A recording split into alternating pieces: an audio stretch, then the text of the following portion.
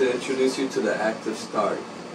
It's an inline soft starter that allows you to start an AC or other electronic devices using 110 volt power with a 30 amp rating.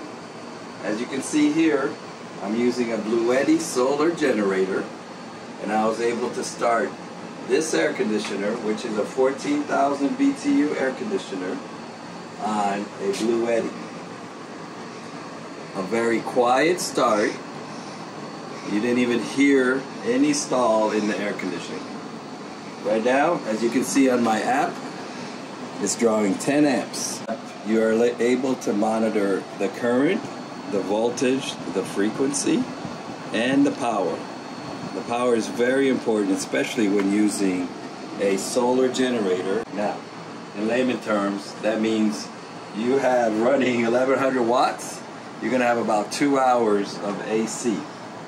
Now, in our next video, we will show you the Bluetti connected to the solar so that it's recharging as it's also powering your air conditioner. Now remember, this is just to show you how our active start allows you to start your air conditioner on a solar generator.